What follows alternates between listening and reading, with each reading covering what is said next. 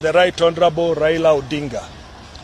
We national leaders who hail from Mount Kenya region would like to put the record straight on a number of salient issues raised in this pointless political discourse. One, we demand respect to the President and the Presidency. We demand respect for President as head of government, head of state, and symbol of national unity. Individuals with divergent views must criticize or correct the President with decorum and respect. It is of paramount importance for individuals seeking the, president's, the presidency now in the future to uphold respect for the office and the desire to occupy it in future. Two, on the president's legacy projects. From the time he got into power in 2013, President Uhuru Kenyatta has committed himself doing everything in his power to better the lives of Kenyans in all possible way.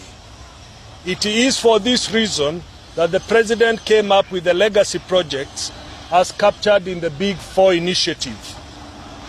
The, in the Big Four agenda of manufacturing, food security and nutrition, affordable, affordable housing and universal health care.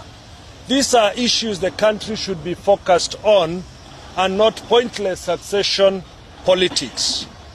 On three, which is a Building Bridges initiative, allow me to let my sister mother carry on from there.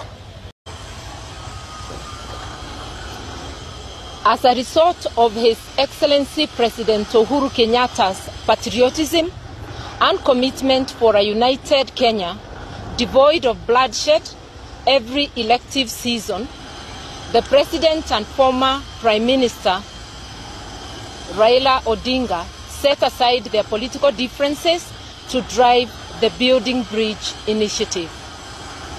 It is our considered opinion that it is unpatriotic of some politicians who are sabotaging this positive initiative for personal political gain, and this should not be allowed.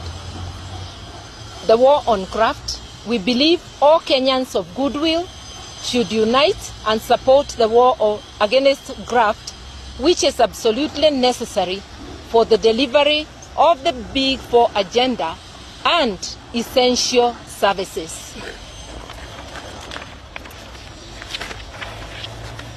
Let it be known to one and all that the war on graft does not target individuals based on ethnicity, political persuasion, or other nebulous criteria, and that corruption fights back. As His Excellency the President has said, when people steal from public coffers, they do so as individuals, not ethnic communities. And as such, when they are made to face the music, they should be seen as individuals, not ethnic communities. On the succession, the President has stated over and over again that the country should focus on delivery of services to wananchi, not on worthless succession politics. We share this view and demand that all leaders of goodwill adhere to the President's direct, directive on this issue. Finally, let all Kenyans know that elections are far away and the country has bigger problems to deal with outside elective politics. Patriotism calls on all of us to do and preach that which is best for all Kenyans, not pander to political interests and ambitions of any individual. That is the. Yes, yeah, good afternoon. Uh, yes, my name is Kilemi Mwiria, former Member of Parliament, Tigania West, and former Assistant Minister for Education, Science and Technology. Uh, let me talk about the issue about the vacuum, but more importantly, talk about the dangers of the miseducation that the Tanga Tanga team is you know, pervading around. Uh, I think one of the problems you know, with this team is that they are going around in the country telling the people that the president is doing nothing in the Mount Kenya region as a way of getting him out of his agenda of his four, four pillars of development, but also so that he doesn't fight corruption. So really, it's a diversionary tactic. This is it, and it is important, if anything, if a caucus has to be formed, it's a caucus to go educating the people about the real agenda of these people.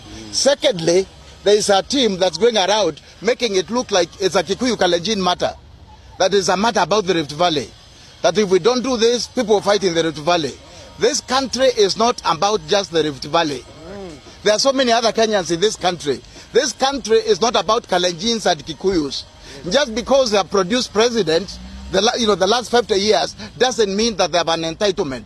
And it is important to also educate our people that the more we accommodate other people, the more we make it possible for people to know that a Turkana can be president, a Mumero can be president, you know, as a, Borana can be president. I think this is where we, we're going, and that's why we want to encourage the president to continue this fight, uniting the country, eh, convincing every Kenyan, and giving every Kenyan hope that it is possible, and that him he cannot sit at State House and say, I am anointing so and so to be president, because he is the president of all Kenyans and he is the president of all communities that can produce a Kenyan uh, president. Thank you.